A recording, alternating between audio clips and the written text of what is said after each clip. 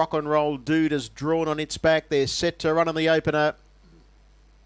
Racing with a green light and near the inside I'm feeling fiery commenced well is mustering speed to try and hold Crossfire Hall who's driven hard to try and get to the top in third spot as they leave the straight as Happy Ever Laughter as I'm feeling fiery has galloped I'm feeling fiery. Galloped at that juncture is being taken back on the inside and will settle down near the tail. And as they work into the back straight in a 7.3 lead time, Crossfire Hall went clear. Second is Happy Ever Laughter, and third on the outside, breezing is Make Mine Grange. Next of all on the inside is Clement Sorrell and Rock and Roll Dude got away from the inside and lobs into the 1 1. Nice driving early doors there by Luke. They were followed further back in the field then as they run down the side by Smooth Freddy. It covers up I'm Feeling Fiery, who was able to rejoin the field about fourth last. Well back in the field is Spooky, Spooky, and towards the tail, Mr. Rio de Janeiro, and with it is the Maldives. 29.8 first quarter of the last mile. They work into the home straight now for the winning post, the judge and the bell.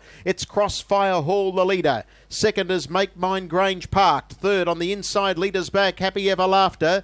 Then Rock and Roll Dude, and they're spooky on the improved three wide. And it's being trailed by Mr. Rio de Janeiro. Smooth Freddy the middle from Clement Sorrell, and I'm feeling fiery. And last of all is the Maldives. They start to bunch into the back. Say, a uh, second quarter, same as the first. 29 8, 59 6 the half. There's five lengths first to last. Down the back straight, it's Crossfire Hall, the leader. About a head in front of Make Mine Grange. They were followed on the inside then by Happy Ever Laughter. Spooky three deep. Rock and Roll Dude needs, needs to get away uh, from a pocket there. On its outside is Mr. Rio de Janeiro. And the rest are headed by Clement Sorrell as they near the turn. 28 4 third quarter. And the leader still Crossfire Hall. On the outside, Spooky grinds home. Nowhere to go. Happy Ever Laughter. And Rock and Roll Dude works into the clear as they flatten for the run to the judge. It's Crossfire Hall, the leader. Spooky's coming at it strongly. Rock and Roll Dude's further out. Clement Sorrell late, but Spooky hit the lead close to home. And Spooky.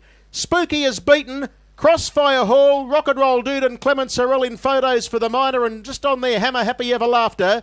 That I'm feeling fiery, followed by the Maldives, and then came further back to Smooth Freddy. And the last couple were Make Mine Grange and Mr. Rio de Janeiro. Last quarter 29 3 and a fast 156 8 to kick off Renshaw Cup night.